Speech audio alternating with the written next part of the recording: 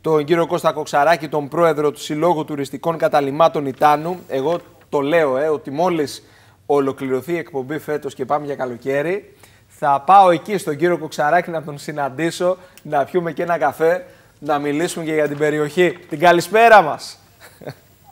Είσαστε ε, πρόσδεκτοι όχι το καλοκαίρι και το χειμώνα παντός καιρού. Είστε, είστε καταπληκτικός. Ευχαριστούμε πολύ. Τι κάνετε; Όλο το επιτελείο της Κρήτη TV, όχι μόνο εσείς. Ε, Σωστό να το ξεκαθαρίσουμε. Παρεξηγηθώ κιόλα, ε. Όλο το επιτελείο. Λοιπόν... Ε, είμαστε καλά, είμαστε καλά. Η...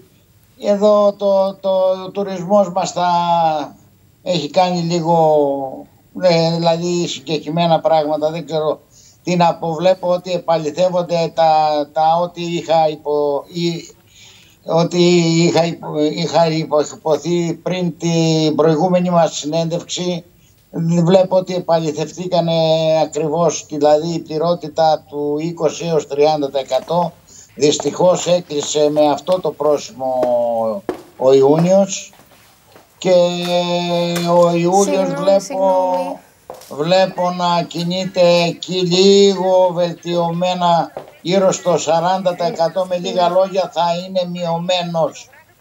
Αυτές είναι οι προβλεψεις και τα στατιστικά που μπορώ να δώσω από την περιοχή αυτή τη Πώς στιγμή. Πώς τα περιμένατε, εκείνη αυτό είναι το ερώτημα. Τεστήν δεν πάμε καλά. Πώς τα περιμένατε ε, την αντίστοιχη περίοδο πέρυσι, ποιο ήταν το κλίμα το οποίο κυριαρχούσε; Εκεί πρέπει να εστιάσουμε. Ε, ναι, έχουμε, μία, έχουμε μία διαφοροποίηση της τάξης του 20%.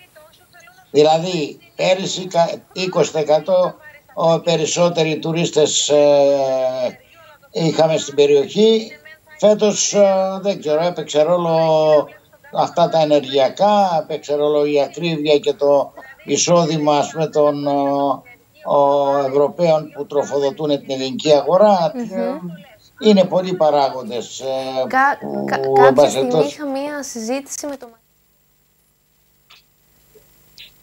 Έστε, δεν σας άκουσα, σας έχασα. Ποιες αγορές στηρίζουν την περιοχή σας, δηλαδή οι κρατήσεις αυτή τη στιγμή και οι διαμονές; Ε, από πού προέρχονται; Υπάρχει μείωση από όλες τις συνηθισμένες αγορές για να μην ε, απαριθμώ Γαλλία, Γερμανία, Αγγλία, Ιταλία και αυτοί οι οποίοι καταλήγουν εδώ βλέπω και υπάρχει στρίμωγμα ή πολύ πολύ μειωμένο ο εισόδημα δεν καταναλώνουν λίγο τα Airbnb δουλεύουν καλύτερα από τα υπόλοιπα καταλήμματα αλλά σε γενικές γραμμές τη μόνη διαφορά που έχουμε από πέρσι με φέτος είναι η απευθείας πτήσεις charter από Δανία, Όσλο, απευθείας για Σιτία. Αυτή μόνο είναι η διαφορά από πέρυσι και φυσικά κάτι είναι και αυτό. Αναφορικά με την ελληνική αγορά, αναφορικά με τους ντόπιους, τους κριτικούς οι οποίοι επιλέγουν να έρθουν στην περιοχή σας εκεί, πώς κινείται το κομμάτι των κρατήσεων; Δυστυχώς και πάλι λυπάμαι που βγάζω αρνητικές ειδήσεις, αλλά δυστυχώς ε, τους βλέπω με, με τα κιάλια που λένε.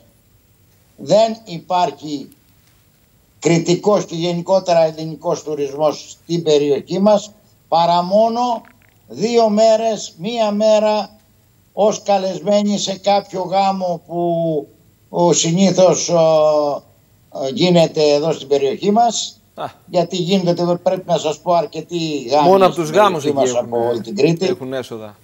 Και έτσι, έτσι κάπως γίνεται τα Σαββατοκύριακα υπάρχει μια σχετική κίνηση.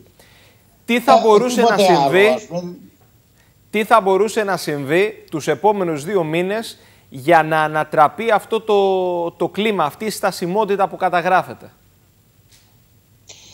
Αυτό το οποίο ε, περιμένουμε είναι να αυξηθούν οι surfers όπου θα κάνουν τη διαφορά και ήδη καταφθάνουν όχι ότι δεν υπάρχουν και τώρα αλλά δεν είναι τόσοι όσο τα άλλα χρόνια εκεί ε, έχουμε τις ελπίδες ότι από εκεί περιμένουμε να, να αυξηθεί η κίνηση και φυσικά η κίνηση σε όλα τα μαγαζιά στη συνέχεια. Ε, περιμένουμε καλά αποτελέσματα ας πούμε, για την, για, από τις 20 Ιουλίου και μετά. Τώρα υπάρχουν ναι μεν, αλλά όχι α, αρκετός αριθμός για να καλύψει όλα τα καταλήμματα. Αυτή τη στιγμή σας λέω είμαστε στο 60 α, με 50, 50, 60 άλλοι εκεί μέσα παίζει το ποσοστό ας πούμε πληρότητας στην περιοχή μας. και μιλάμε για τον Ιούλιο, τέτοια νούμερα ας πούμε τώρα Μα που έχουμε χάσει δύο μήνες. Μέχρι τις 10-15. Δύο-δυόμιση μήνες, 56% πληρότητα, δεν είναι καλά τα πράγματα. Η αλήθεια όχι είναι. Βεβαίως, όχι βεβαίως και λυπάμαι που επαληθεύτηκα και λυπάμαι που δεν ε, επαληθεύονται οι εξαγγελίες που μας λέγανε ότι θα πλημμυρίσει και λοιπά και θα βουλιάξουμε. Μάλλον εμείς βουλιάξαμε και όχι η Κρήτη Αναφορικά τώρα, τελευταία ερώτηση, αναφορικά με την αγοραστική τους δύναμη. Έχετε ένα 60% πληρότητα αυτή τη στιγμή, 56% βγαίνουν προς τα έξω αυτοί οι τουρίστες, ξοδεύουν, ενισχύουν εκεί την επιχειρηματικότητα. Όχι, δεν καταναλώνουν κύριε Παναγιωτόπουλε, δεν καταναλώνουν. Σας είπα ότι οι πελάτες είναι με πολύ μειωμένο budget. Δυστυχώς δεν καταναλώνουν. Και οι περισσότεροι μαγειρεύουν μέσα, να ξέρετε, ε, προσπαθούν να τη βγάλουν έτσι, κάπως έτσι. Και θα υπάρξει μια κίνηση τώρα από το Βέλγιο και την Γαλλία με τους φοιτητές οι οποίοι έρχονται κάθε χρόνο και κάνουν ανασκαφές ε, στην Ήτανο. θα έχουμε εκεί πέρα, εγώ τουλάχιστον θα είμαι κατά 90 έως 100% για Ιούλιο και Αύγουστο κλπ. Ναι. Α, όμως αυτή είναι για ένα μήνα, 34 μέρες εκεί πέρα. Είναι το πρόγραμμα του Πανεπιστημίου των Βρυξελών.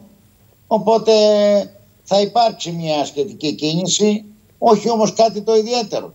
Μάλιστα. Δηλαδή και αυτοί και οι φοιτητές που θα έρθουν και αυτοί είναι με περισμένο μπάτζετ, ας πούμε. Δηλαδή δεν εξοδεύουν, δεν μπορούν να εξοδεύουν, φοιτητές είναι, δεν περιμένουν κάτι από εκεί, ας πούμε. Λοιπόν, θα τα ξαναπούμε κύριε Κοξαράκη. Ευχαριστώ θερμά για την τοποθέτηση, για το κλίμα που μας μεταφέρατε. Δυστυχώς δεν ήταν ευχάριστο, αλλά αυτή είναι η πραγματικότητα. Και εγώ ευχαριστώ, είμαι στη διάθεσή σα. Θα τα ξαναπούμε και πάλι. Όποτε κρίνετε εσείς σκόπιμο. Να είστε καλά, Πρόεδρε. όλα τα παιδιά εκεί και τα χαιρετίσματά μας. Να είστε καλά, να είστε καλά, ευγενέστατος.